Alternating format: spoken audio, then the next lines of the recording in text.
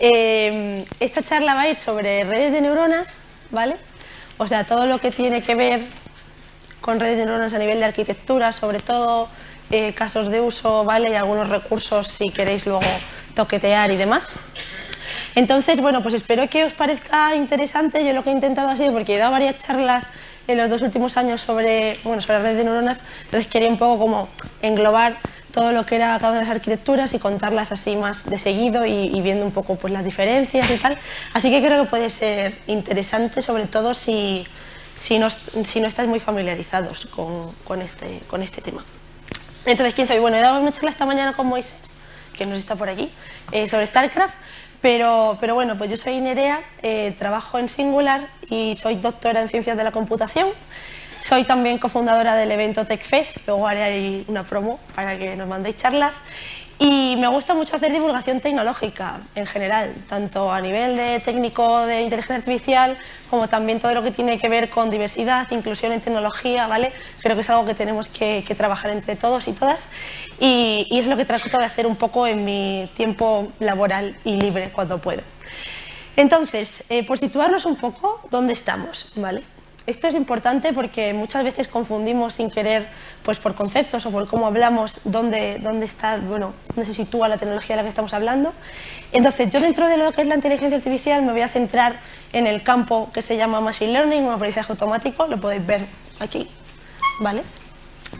Y digamos que las redes de neuronas se ubican entre ese campo del Machine Learning y también el campo del aprendizaje profundo, ¿vale? que es como una subárea del propio Machine Learning, donde lo que tratamos de hacer es eh, bueno, trabajar sobre todo con arquitecturas mucho más complejas, ¿vale? a nivel de pues, número de capas, luego lo vamos a ver poco a poco. ¿vale? Entonces, por un lado tendríamos Machine Learning, que es todo este campo donde tratamos eh, un conjunto de datos, le pasamos un algoritmo intentamos extraer conocimiento de esos datos, ¿vale? establecer relaciones entre los datos, conceptos y demás.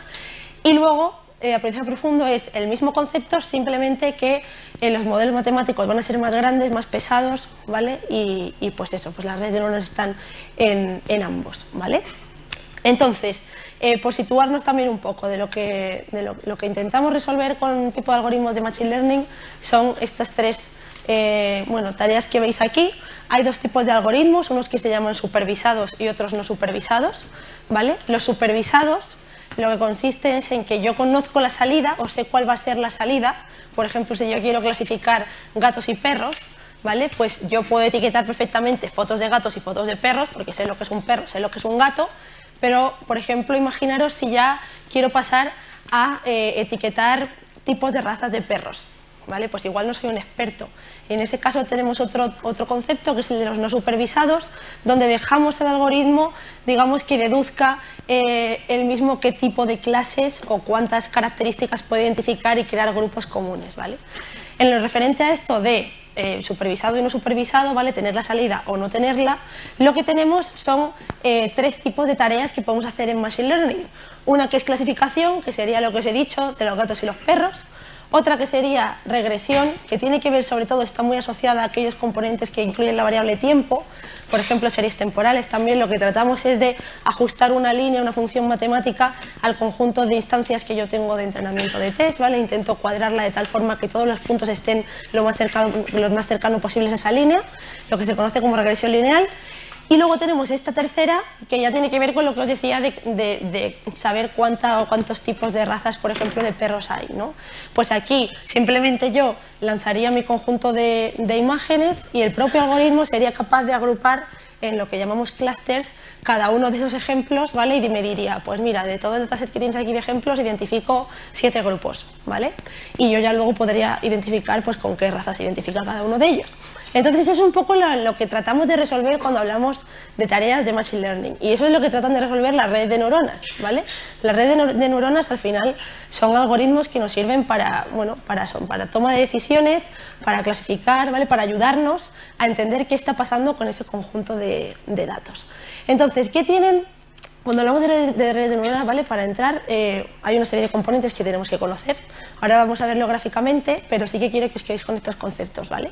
Tenemos elementos llamados neuronas, lógicamente, eh, que no son otra cosa que, bueno, una, serie de operaciones que van a suceder, lo que pasa que por cómo está montada la arquitectura, pues se parece mucho, digamos, a cómo funciona nuestro, nuestro cerebro. Ahora voy a poner un ejemplo.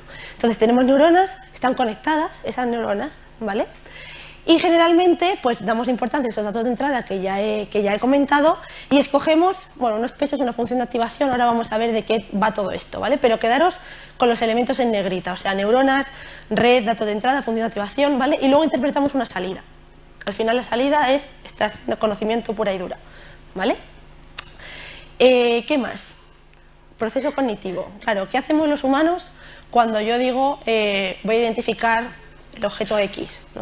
Si yo quiero, por ejemplo, eh, hacer el proceso cognitivo, digamos, que haría yo para reconocer eh, este, esta silla, no en esta imagen, al final es que si yo veo una silla es porque sé que generalmente tiene cuatro patas, es de un color quizá oscuro, de madera, ¿no? tiene una serie de características que yo asocio a lo que sería ese objeto silla. ¿vale? ¿Qué pasa? Que eso es lo que hacen realmente las redes de neuronas.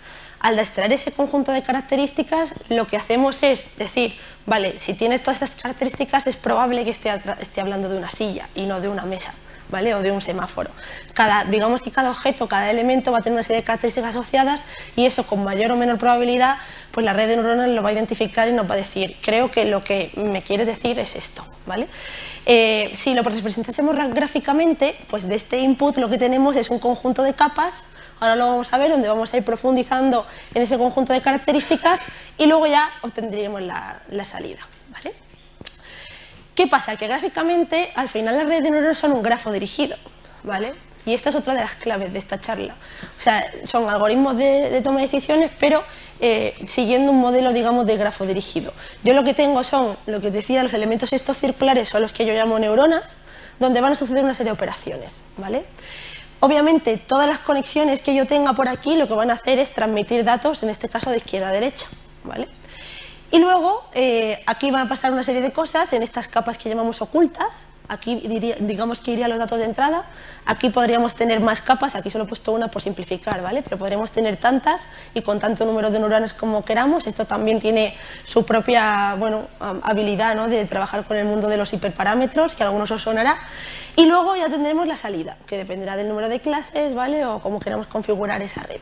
¿Qué sucede? Que aquí, en cada uno de, estos, de estas neuronas, como decía, va a haber una serie de operaciones matemáticas. Generalmente es un peso, que yo voy a inicializar igual de forma aleatoria, no, ¿vale? Y, ese peso va a ir cambiando a lo largo del aprendizaje, vamos a tener el propio valor que le llega de por aquí, ¿vale? A cada una de estas neuronas y luego se va, a pasar por una función de activación. Es decir, os tenéis que quedar con que hay un peso, hay un número que se multiplica por ese peso para darle más importancia o menos y luego una función de activación. ¿Qué sucede con esto?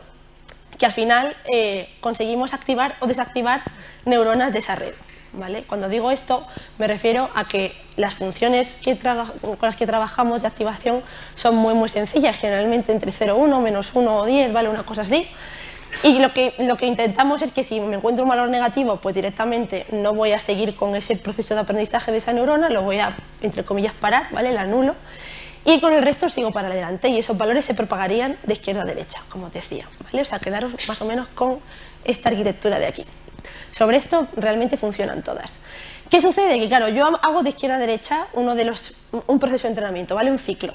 Entonces yo he obtenido la salida que sea ¿Y qué hago para, para, seguir entrenando? Pues propagar esos valores hacia atrás. No hemos hablado de que iba de izquierda a derecha, pues también hay un algoritmo que es la clave realmente de las redes de, de neuronas, sobre todo de estas que van de las feed forward que se llaman de izquierda a derecha, que lo que va a hacer es quedarse con todo eso que he aprendido y propagarlo hacia detrás. ¿vale? Esto se hace con unas derivadas parciales y demás sobre los datos, no me voy a meter en eso, pero digamos que con eso conseguimos que los pesos vayan cambiando, se vayan ajustando según lo que queremos aprender. Bien, con lo cual también vamos a ir variando el número de neuronas que se activan, que se desactivan, etcétera, etcétera. ¿Qué sucede con este algoritmo de, backpropagation? Que realmente también los, los, cálculos que hay que hacer son muy sencillos, siempre son todo multiplicaciones, ¿vale? O pasar una función matemática sencilla, con lo cual el cómputo de lo que es un episodio de una red de neuronas no es muy costoso. Lo que nos costaba antes era escalarlo pues, a lo que serían arquitecturas de Deep Learning, donde ya sí que tengo pues, un modelo matemático mucho más grande, ¿no? con muchas más capas, muchas más neuronas y todo eso pues ahora digamos que con la explosión del cloud y de la paralización del código nos lo cargamos, ¿vale? Y pasamos a un, entorno pues mucho más amigable para trabajar ya con grandes conjuntos de, datos. Pero esa es, esa es la clave, ¿vale? Esos algoritmos ya existían hace muchísimo tiempo. ¿Qué más? Uy, que me dice que necesito permiso de que... No sé qué es esto. Ah, porque igual está con otra cuenta. No lo sé, no puedo verlo. Que aquí había un vídeo, a ver si lo puedo poner. Yo debería tener permiso para ver esto, no sé por qué dice esto. Bueno, en realidad el vídeo era una animación gráfica de cómo se, activaban y se desactivaban las neuronas, pero no sé por qué eh, no me está dejando, igual lo tenía con, otra cuenta. Pero bueno, el caso es que, eh, vale, si yo tuviese lo que os decía, que reconocer números o algo así, pues simplemente eso, iríamos viendo cómo esas neuronas se activan o se desactivan, lo podéis ver en, internet, de todas formas hay muchísimas animaciones de este estilo. Y la clave para nosotros, ¿vale? si lo viésemos en un espacio 3D, eh, sería encontrar este eh, mínimo global. ¿vale? Lo que nos vamos a encontrar es que a la hora de hacer este, este lo, que decimos es que converge ¿vale? el aprendizaje. Va, converge porque va como bajando, va encontrando esos mínimos locales estos que vemos por aquí, pero nuestra idea es que cuanto antes lo que queremos es encontrar dónde está ese mínimo global, que es el que nos, digamos, se va a ajustar a, nuestro proceso de aprendizaje. Lo digo porque sí que quiero que os vayáis con la sensación de que hay mucha matemática detrás, que es verdad que no tenemos que, que saberla al dedillo ni nada, pero sí que está bien que por lo menos los conceptos los conozcamos y que cuando hablamos de, de, que el aprendizaje converge y todo esto, pues tiene que ver con un problema de, de optimización, ¿vale? Entonces, quedaros con ese concepto. Al final lo que tratamos es de encontrar ese, de hacer esa extracción de conocimiento y de encontrar ese mínimo, ese mínimo global. ¿vale? Luego, por supuesto, tenemos distintos tipos de redes de neuronas, porque las que os he explicado hasta ahora son las clásicas, son las forward las que ya existían, el preceptor multicapa se llamaban, ¿vale? Y son estas que están todas las neuronas conectadas y donde los datos van de izquierda a derecha y luego hacíamos este aprendizaje hacia atrás, ¿vale? ¿Qué sucede? Que obviamente todo esto evoluciona y han surgido muchísimos modelos de redes de neuronas que se han especializado en distintos campos y que nos ayudan sobre todo a trabajar con distintos tipos de datos. Y eso es de lo que vamos a hablar hoy aquí. ¿vale? Os voy a hablar de las redes de neuronas recurrentes y os voy a hablar de las convolucionales y luego voy a hablar brevemente de lo que son las redes generativas. ¿vale? Entonces, la red feedforward nos ha quedado claro. Izquierda-derecha, todas ultraconectadas, generalmente trabajan directamente con números, o sea, la entrada ¿vale? Es muy probable que sean directamente números, ¿vale? Si pasamos a las recurrentes, la diferencia con las anteriores, lo vais a ver ahora, a ver, es, eh, bueno, aparte de que trabajan para el lenguaje, vale, voy a contar esto primero y ahora cuento la arquitectura, eh, tiene una particularidad, que es que eh, por cómo están construidas, ¿vale? Son muy buenas para digamos, eh, recoger ese conocimiento o, almacenar ese conocimiento que se encuentra, digamos, en el, en el, corto plazo. Ahora lo vais a entender. Si vemos cómo funcionan las redes recurrentes, tienen un ciclo que no tenían las otras, que es este que veis aquí, ¿vale? Donde la neurona lo que hace es almacenar esa multiplicación que yo había dicho que se hace de operaciones y demás, y se almacena, digamos, de forma mucho más fuerte en cada uno de esos ciclos de aprendizaje. Esto lo que hace es generar, digamos, relaciones mucho más fuertes de dependencia entre los datos. Y por eso, si vuelvo al anterior, eh, funcionan muy bien para temas que, tienen que ver con el lenguaje. ¿vale? Se utiliza muchísimo para el procesamiento del lenguaje natural. ¿Por qué? Porque al final, cuando yo hablo, cuando yo quiero analizar una frase, es muy probable que todos lo habréis visto, el teclado predictivo, ¿vale? Pues eso se puede entrenar, se puede entrenar, al final habréis visto que el teclado ahora aprende vuestra forma también de expresaros y demás, pues todo esto lleva por debajo, digamos, este tipo de algoritmos. Es muy fácil que si yo pongo eh, el cielo hoy, está, pues seguramente quiera poner azul o gris o algo así, ¿no? Ese tipo de relaciones son muy sencillas de, aprender con este tipo de red de neuronas por ese, por ese lazo, digamos, ese bucle que, que sucede en cada una de ellas. Hay otra evolución de, este tipo de, redes recurrentes, que son las Long Short Term Memory, ¿vale? donde resuelven un problema que las otras son bastante malas. O sea, he dicho que las recurrentes se utilizan para temas del lenguaje, pero sí que es verdad que son buenas en el corto plazo, pero muy malas en, digamos, encontrar relaciones de contexto. Y esto lo solucionan parcialmente las long short term memory. Lo que, lo que sucede es que al final, eh, entre unas y otras, la diferencia es que estas son un poco más complejas en cuanto a que puedes modular no que te quedes siempre con esa, con esa cantidad de aprendizaje, lo que os he dicho de que cada una de las neuronas almacena esa información concreta que ha aprendido, sino que puedes olvidarla. ¿Vale? Y eso tú lo puedes, digamos, eh, bueno, también con un peso, pues es decir, cuánto olvidas, cuánto te quedas, ¿vale? Y estar, digamos, eh, modelando un poco más el proceso de aprendizaje. Con lo cual aquí sí que resolvemos problemas como decía, más relacionados con el contexto, que igual empieces a hablar de un sujeto, luego lo recuperes en otra, en otra frase posterior, ¿vale? Ese tipo de, de, cosas, este tipo de redes son muy, muy buenas. ¿Qué pasa? Que tienen muchas más funciones de activación, o sea, por aquí podéis ver, bueno, sinusoidales, ¿vale? La tangente hiperbólica, todas estas funciones también se multiplican dentro de cada una de las neuronas de, de la long short term memory, aunque las veis así, o sea, esto sería, digamos, cada una una, una neurona. ¿Vale? Están conectadas de esta forma porque es más fácil ver toda la arquitectura que llevan por debajo. Entonces eso, aquí tendríamos pues la neurona, lo que os decía, la de entrada, como ya la teníamos antes. Tenemos la, aquí se llaman gates, ¿vale? Pero bueno, es lo mismo. Son, al final son pesos también. Eh, la, la, la, que se encarga de olvidar, el peso que se encarga de decir, ah, de esta parte te vas a olvidar, ¿vale? Y la de salida, con, la, de, la de Forget Gate lo que consigues es lo que os decía, o sea, simplemente nivelar cuánto te quedas y cuánto, cuánto olvidas en cada una de, de las fases. Entonces, si las comparásemos, ¿vale? Pues lo que os decía es que las recurrentes realmente son sencillas dentro de que tienen este bucle, digamos, de, donde almacenan ese aprendizaje y estas ya sí que son un poco más complejas en cuanto a bueno, las operaciones, las XOR y todo esto que se lleva a cabo dentro. Pero bueno, simplemente que os quedéis con esa idea. Para utilizar, para, para approach relacionados con lenguaje, es mucho más sencillo que apostéis por un, por un modelo de este estilo y de hecho ya hay muchísimo programado pues eso, en TensorFlow, Python con lo que queráis. Y eh, sobre todo con estas, si queréis ya trabajar con textos un poco más tediosos, eh, funcionan bastante mejor que las anteriores. Estas es que se empezaron a utilizar en cosas de traducción, por ejemplo. Pues eh, también, digamos que precisamente por esa relación entre un término en un idioma y otro término en otro, también funcionaban bastante, bastante bien. ¿vale? Y ahora pasamos a las convolucionales. Las convolucionales son un approach completamente distinto. Generalmente se utilizan para el tratamiento de imágenes, ¿vale? extracción de conocimiento en imágenes. antes hemos hablado en lenguaje, ahora nos vamos a mover a imágenes o vídeo incluso. ¿vale? Eh, cuando hablamos de convolucionales, claro, antes no teníamos problema porque íbamos directamente al dato, por así decirlo, a la letra o al número. ¿Vale? Pero aquí tiene que haber una serie de transformaciones para nosotros poder trabajar con números dentro de la red de neuronas. No os olvidéis que son modelos matemáticos, ¿vale? Es lo que había dicho antes. Entonces, aquí hay dos fases claramente diferenciadas. Una que tiene que ver con la red de feedforward que hemos visto antes y otra que tiene que ver con el proceso de convolución.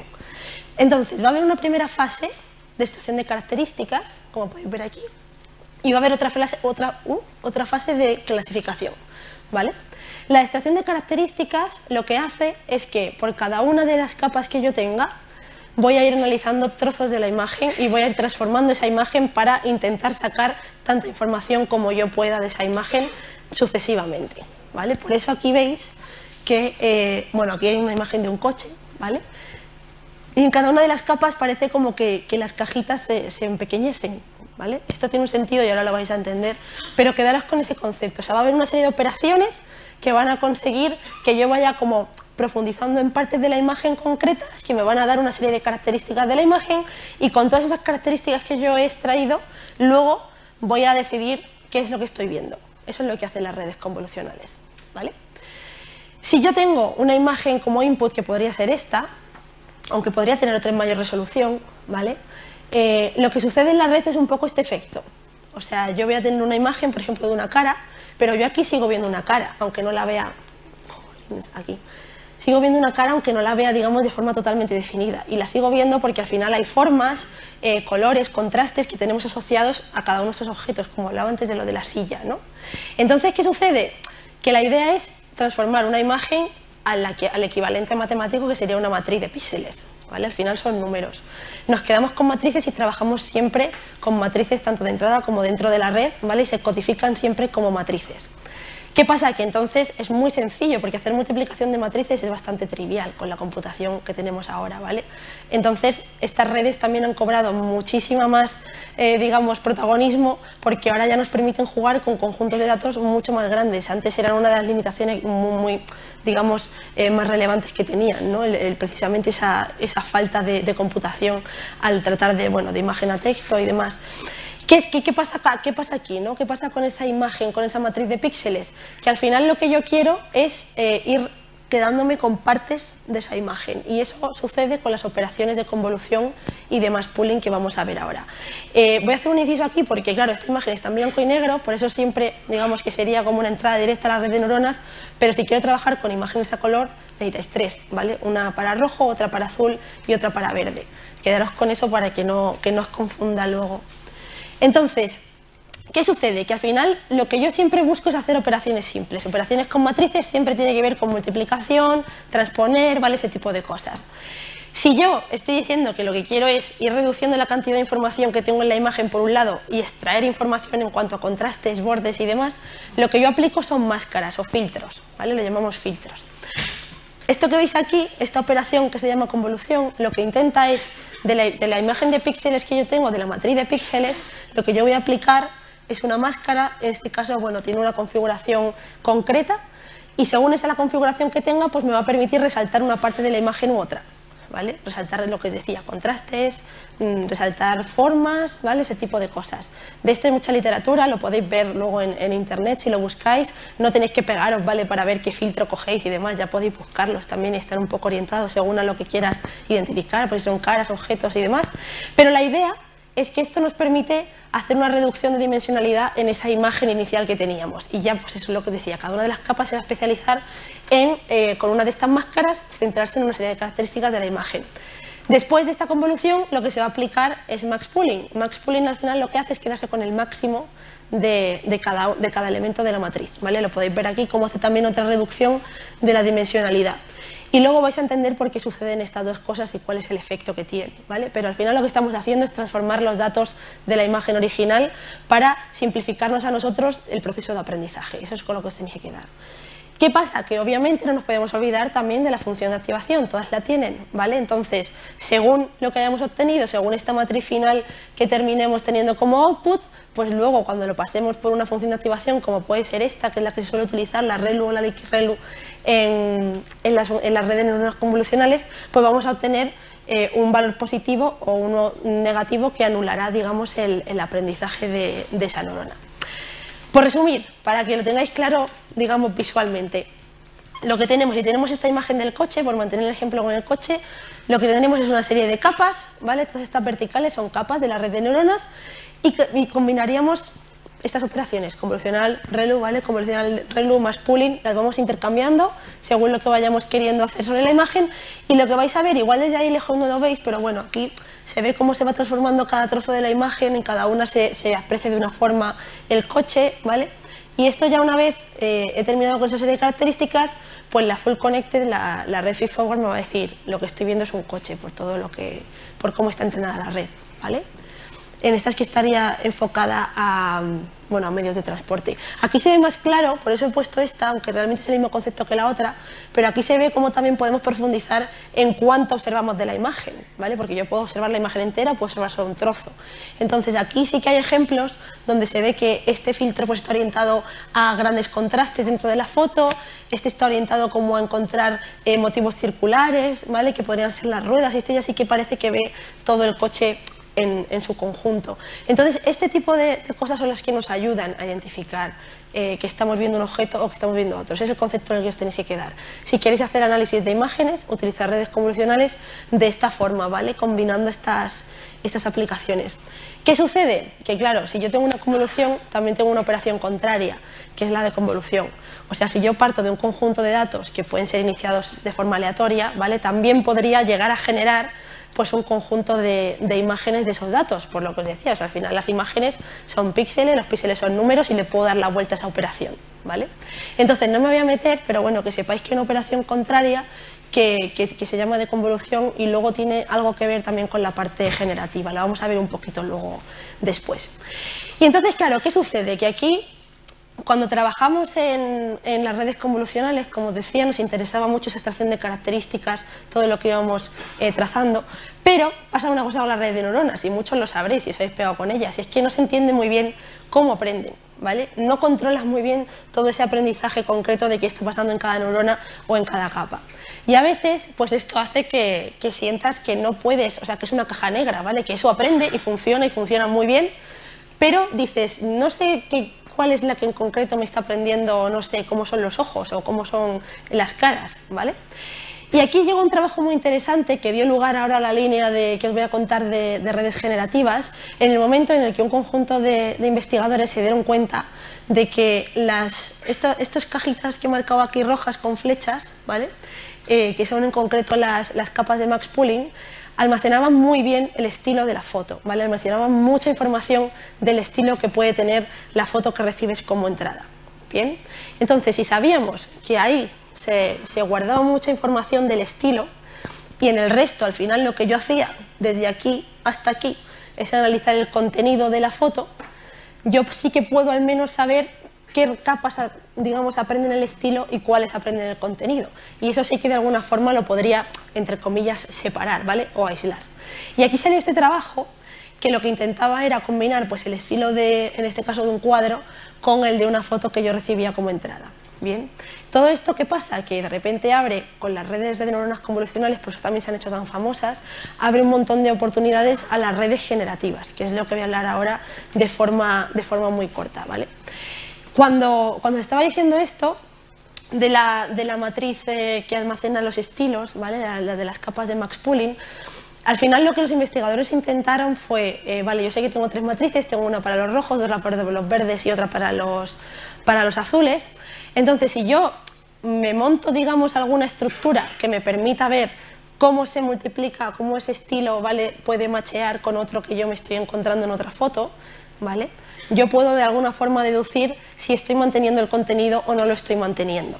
Bien, entonces para conseguir ese output que habéis visto, donde cruzaban ese estilo con ese perro, que seguimos viendo el perro a pesar de ver el estilo de la otra foto, crearon, digamos, lo que se llama esta gran matrix. Aquí no me voy a meter mucho, solo que sepáis que se llama así, ¿vale? Pero básicamente lo que hacen es transponer el conjunto de matrices que tienen de entrada, ¿vale? Esta de la roja, la verde y la, y la azul de las capas de Max Pooling e intentan hacer una transformación ahí. Y todo eso, digamos que en esta unroll version, como versión desenrollada, lo que les permite es ver claramente cuáles son eh, los números que marcan ese, estilo y ese contenido. ¿vale?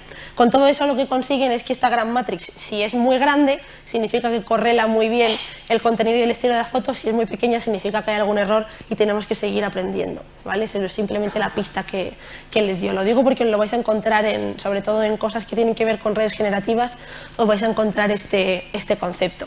Y con eso llegaron a las redes de neuronas adversarias, ¿vale? que también están basadas en imágenes, pero el concepto es ligeramente distinto.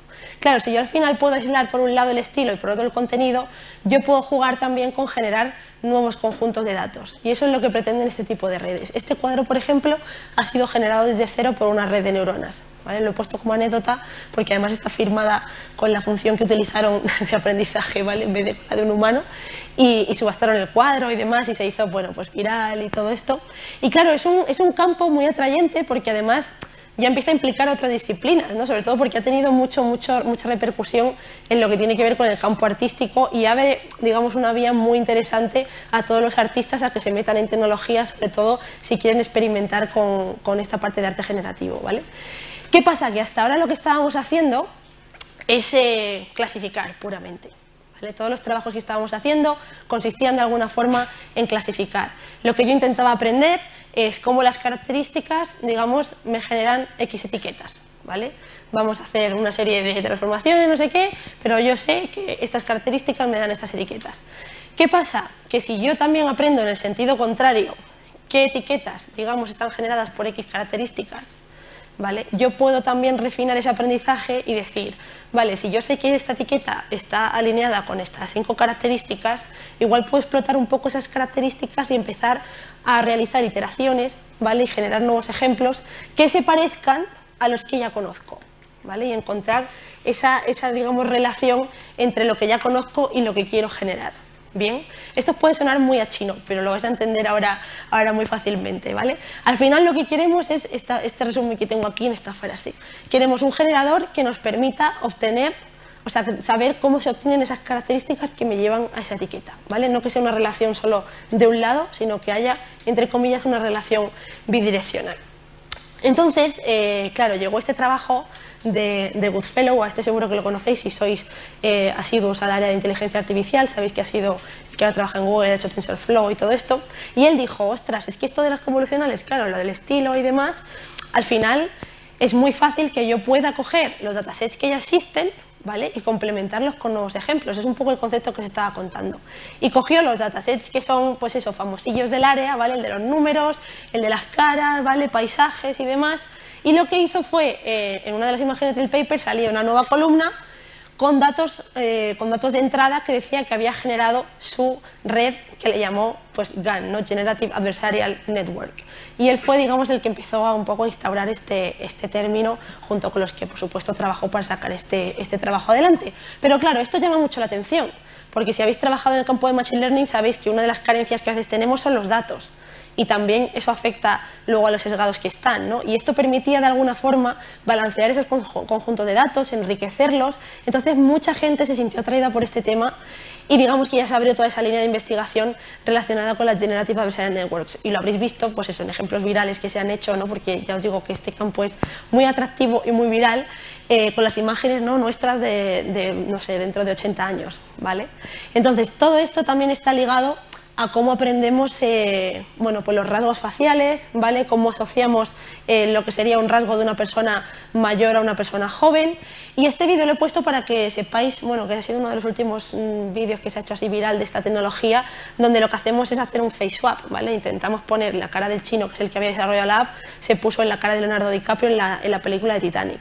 Con lo cual, aquí entendéis muy bien el concepto. O sea, lo que yo intento es quedarme con esa parte que me interesa, de, en este caso sería la cara, ¿vale? Aprender cómo es una cara, aprender cómo puedo yo generar una nueva cara sobre esa que ya existe, pero manteniendo siempre el contenido inicial de la foto, ¿vale? Por eso nos parece muy realista. ¿Qué sucede? Que obviamente esto es un salto cualitativo y cuantitativo en cuanto a eh, aprendizaje, capacidad computacional, ¿vale? Y las GANs nos entrenan en cosa de seis horas, ¿vale? O tres, o dos. Necesitan a veces días, sobre todo cuando queremos trabajar con alta resolución. Lo digo porque mucha gente además me pregunta este tema y, no es trivial, ¿vale? O sea, igual que sí que es verdad que ya está muy avanzado el, cálculo pues en cosas del STM, de lenguaje o de imágenes per se, ¿vale? Convolucionales, sí que es verdad que esto, aunque ya está llegando y demás, hay que darle tiempo a entrenar el sistema. Mucha gente utiliza modelos preentrenados, ¿vale? Que es mucho más fácil trabajar con ellos y los va iterando. Entonces, ¿qué sucede? Que cuando veáis este tipo de vídeos os podéis fijar en que la mayoría están hechos a media resolución, ¿vale? Por eso también se generan mucho más rápido en los que ya son modelos preentrenados. ¿Cómo funciona una GAN? Para que os llevéis un poco ese conocimiento, ya unáis todos eh, y os lo llevéis a casa. Pues básicamente lo que tenemos es, por un lado, una deconvolución y por otro lado, una convolución. Por eso os había contado también toda la parte anterior con insistencia. Porque la idea de las GANs es que igual que tenemos un conjunto de datos de entrada, como ya teníamos en las redes clásicas, ¿vale? en este caso sería un conjunto de imágenes, también vamos a tener un conjunto de datos iniciados de forma aleatoria generalmente, que es esto que veis aquí que se llama random noise, y lo que vamos a hacer con ello es una deconvolución. Es decir, por un lado yo estoy analizando mi conjunto de imágenes y extrayendo características, y por otro lado yo tengo un conjunto de números que le voy a ir dando forma. ¿vale? Le voy a ir dando forma de forma iterativa para que ese conjunto de datos cada vez me genere algo en ese proceso de convolución que se parezca a lo que yo tengo aquí arriba. ¿Cómo voy a hacer eso? Con esto que veis aquí. ¿vale?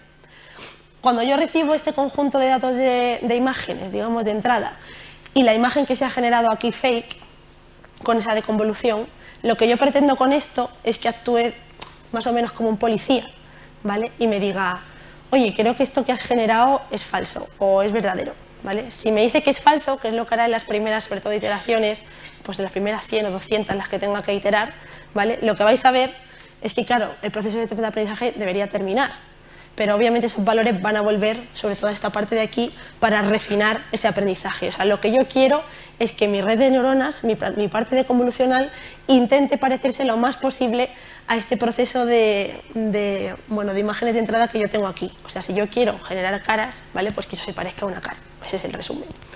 ¿Qué sucede? Lo que os decía, que aquí hay un policía, ¿vale? Que al final eh, el aprendizaje es tan bueno, tan bueno, tan bueno, que es incapaz de distinguir cuando recibo algo del dataset de entrada y cuando recibo algo fake. En ese momento he terminado mi aprendizaje ya está lista mi GAN, ya puedo llevarla, digamos, a testearla con ejemplos, en fin, con multitud de ejemplos reales, lo que queráis, ¿vale? Que sería un poco lo que han hecho los de ZAOAP. ¿Qué cosas podéis ver relacionadas con esta tecnología? Pues igual que para las otras tenéis lo del lenguaje, para esta lo de las imágenes analizando coches o camiones y demás, aquí hay varios servicios que han sacado ahora recientemente, eh, bueno, hace ya un año o así, que, tienen que ver con, investigaciones que ha hecho NVIDIA. ¿vale? NVIDIA es una de, las empresas que está ahora mismo en el estado del arte de esta tecnología y lo que intenta es trabajar sobre todo en alta resolución, que es algo lo que os decía bastante inalcanzable y complejo. ¿vale? Entonces, eh, montaron este servicio web no sé si fueron ellos o fue un ingeniero de Uber o algo así, me suena alguna historia similar. Pero bueno, básicamente todas las caras que estáis viendo aquí no existen. No existe ninguna de ellas. Cada vez que os metáis en esa web se va a generar una foto de alguien que no existe. ¿Cuál es la clave de todo esto? Que entendáis con esto el proceso que estamos tratando de emular, ¿vale? El por qué esto, el por qué esta foto me parece tan realista es porque he conseguido hacer esa sonrisa expresiva, ¿vale? Toda la imagen, digamos, correla, tiene pues detalles en el pelo, tiene canas, tiene líneas de expresión, lo que queráis, ¿no? Y eso hace que al ojo humano pues nos parezca pues, como al discriminador, ¿no? que no somos capaces de distinguir si es verdadero o es falso. Y lo mismo, pues hay multitud de aplicaciones también eh, que ver pues, en temas de conducción, ¿vale? en temas de videojuegos, que se están trabajando con esta tecnología. Precisamente por ese, esa creatividad o esa parte generativa, pues podemos aplicarla a multitud de sectores. ¿Cuál es la gracia de, lo que hizo NVIDIA respecto a lo que es la arquitectura clásica de una GAN o una DC GAN, que es como lo encontraréis en, Internet, ¿vale? DC es de Deep Convolutional. Pues al final lo que hicieron fue eh, entrenar todo con mucha más paciencia, es decir, empezar por imágenes que tenían una resolución de 4x4 hasta las que tenían 1024 x 1024. El resultado de esto es que aprenden, digamos, es como si laminases una cara, al principio ves todo así borroso y empiezas a darle detalles, detalles, detalles, detalles, detalles. Y con eso aprendieron también a darle tanto nivel de detalle como querían o darle menos nivel de detalle, lo cual les ha hecho pues, ser tan cracks como para generar las imágenes que habéis visto anteriormente. ¿vale? Si yo soy capaz de controlar mi aprendizaje a ese nivel de detalle, yo ya sé cómo generar una imagen de una persona que puede ser pelirroja, albina, eh, negra, como quiera, ¿vale? Incluso soy capaz de cruzar varias imágenes y mantener esas características. He puesto este GIF para que veáis también eh, todo el tema del training time, lo que os decía, porque lo vais a ver si os pegáis con estas arquitecturas vais a ver que no es trivial, sobre todo si las queréis entrenar vosotros desde, cero. Ellos se tiraron hasta 15 días ¿vale? para entrenar el modelo, uno de los modelos más avanzados que tenían. Y, claro, 15 días de cómputo, pues o tienes mucha pasta o no sé, eres Google, ¿vale? O eres Nvidia. Entonces, pues eso, que sepáis que es verdad que va llegando, va llegando, pero, pero todavía cuesta, cuesta un poquito, ¿vale? Hay un vídeo también muy curioso sobre esta tecnología, sobre este trabajo en concreto, además con las caras, que eh, os cuenta también más información sobre cómo este tipo de, arquitecturas y aprendizaje nos ayuda a dar más transparencia al proceso de aprendizaje de la red de neuronas. Lo que os decía antes de que para nosotros es una, es una caja negra, al final, pues hacer este aprendizaje iterativo nos permite ajustar distintos parámetros que pueden hacer que aprendamos mejor el cómo aprende la propia red de neuronas distintas características, en este caso de una cara, ¿vale? Y aquí os cuenta pues cómo tienen como, bueno, distintos eh, parámetros que si los van aumentando o decrementando, pues entonces le crece el pelo, ellos le crece el volumen o le crece la línea de expresión, ¿vale? Ese tipo de cosas son las que trabajan en este, en este vídeo y hacen toda la interpolación de, de los ejemplos. Pero al final, a nivel de arquitectura, ¿vale? cuando ya vais a TensorFlow o a Python o lo que sea, lo que vais a encontrar es algo así.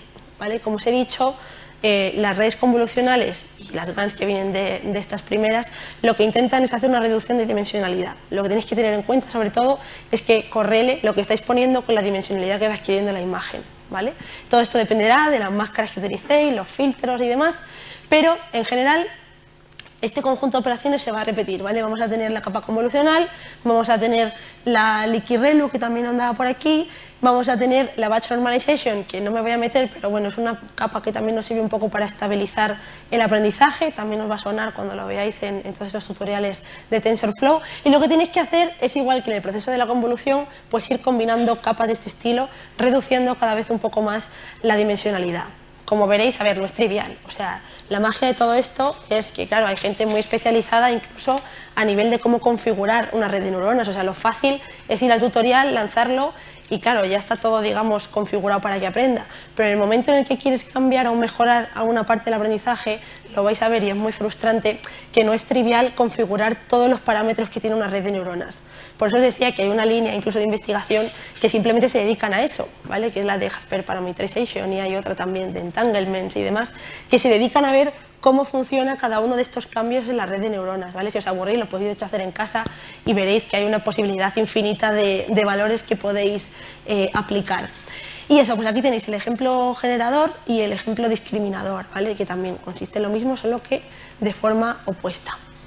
¿Qué pasa? Que bueno, luego hay multitud de, mm, digamos, arquitecturas evolucionadas de la GAN, ¿vale? de la ProGAN de NVIDIA, también tenemos la CycleGAN que tiene un ciclo más de, discriminador, donde ya podéis ver que también pues, no solo digamos, haríamos este cambio pues, de cebras y caballos y de caballos a cebras, sino que ya somos capaces de hacerlo para cualquier conjunto de datos.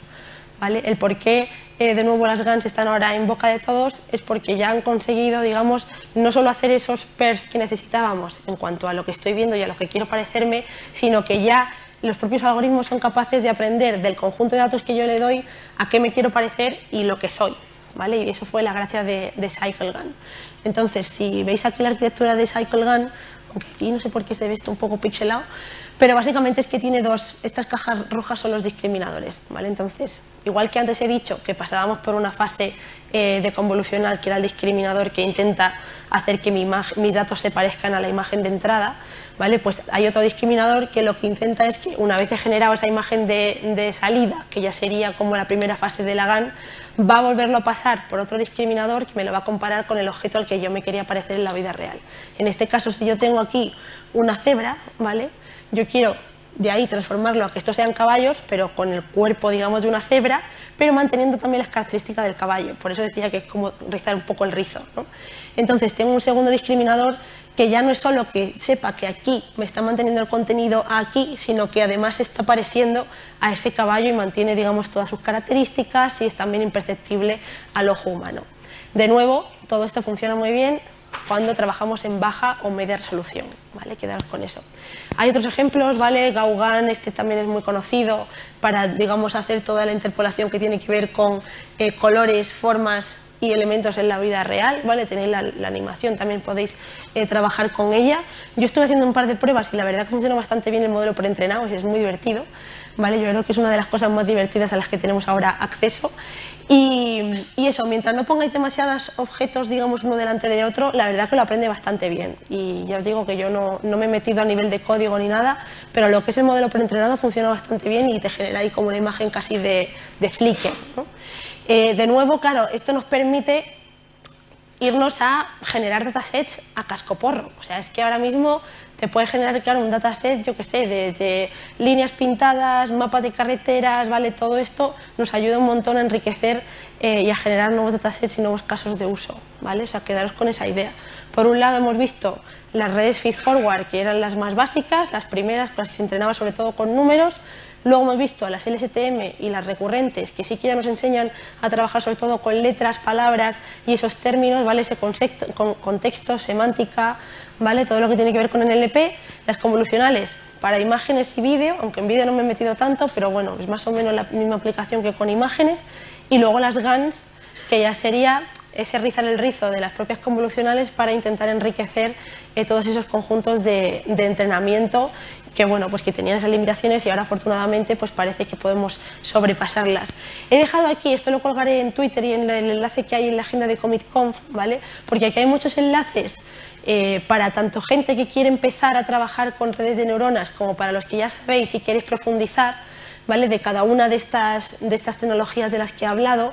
Eh, el Playground de TensorFlow, a ver, a mí me gusta bastante, yo lo recomiendo en las charlas, sobre todo para los que no sabéis de esta temática, porque creo que enseña muy bien cómo afecta cada uno de los parámetros a lo que es el aprendizaje de la red de neuronas. ¿vale? Como decía, lo que es el concepto de red de neuronas es fácil de aprender, pero claro, luego te vas aquí arriba y empiezas a ver todo lo que puedes, digamos, tocar y luego todo lo que puedes tocar aquí en vertical, ¿vale? Hay muchísimas cosas que yo creo que al tener esta herramienta visual, aunque sean, digamos, arquitecturas muy simples, sí que nos sirve para entender qué es lo que estamos haciendo, qué parámetros que queremos que converja, ¿vale? cuánto número de episodios necesito para aprender, en fin, ese tipo de cosas. Y sobre todo el, nombre de las funciones, ¿no? cómo afecta cada una de ellas. Eh, he puesto también una lista de Codelabs, sobre todo centros en TensorFlow, aunque también los hay de Python, quizá añada algún link más, porque hay alguno de Python que es interesante. Eh, a mí me gusta mucho este, en concreto este Codelab que habla de TensorFlow, que eras, y dice sin, sin un doctorado, ¿vale? Como para que cualquiera lo, lo pueda aprender. Y hay algunos otros, ya os digo, de tanto de redes convencionales, en fin, hay de todo, ¿vale?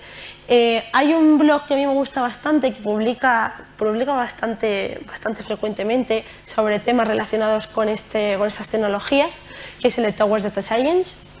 Y aquí podéis ver, pues eso, multitud de, de artículos que incluyen código, yo creo que eso es muy importante, sobre todo que haya ese enlace de teoría a lo que ya es la práctica, luego al tutorial y que tú ya puedas toquetear un poco el modelo, que a veces es lo que más nos cuesta. Y ahí también tienes, tenéis del STM el canal de 12SV, que si no le conocéis, pues la verdad que hace unos vídeos impresionantes con animaciones de todos estos temas de forma muy divulgativa y también técnica. Si tenéis curiosidad por el tema de las GANs y lo que están consiguiendo, en, sobre todo en vídeo, el canal de Control Shift Face es muy chulo porque sí que está como mezclando esas tecnologías, pues yo que sé, en anuncios en cine, eh, cambiando caras, ¿vale? Está haciendo algunos vídeos bastante interesantes.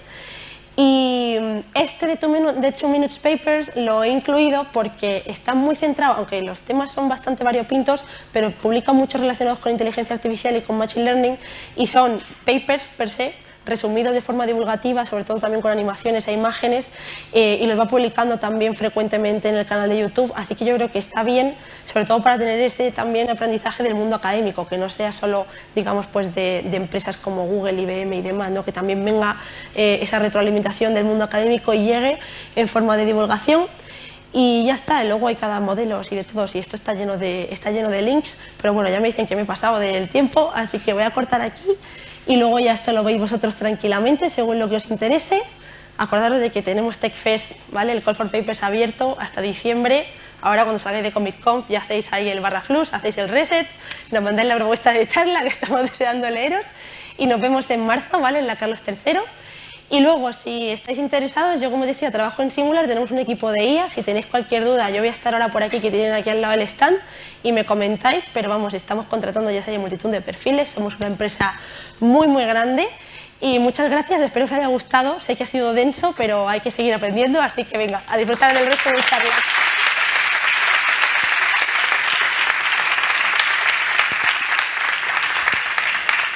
Tenéis alguna duda, me quedo brevemente por aquí, que no sé si hay tiempo, no tengo ni idea. ¿eh? ¿Sí? Vale, pues me dicen que sí. Si tenéis alguna duda, o preguntáis o venís.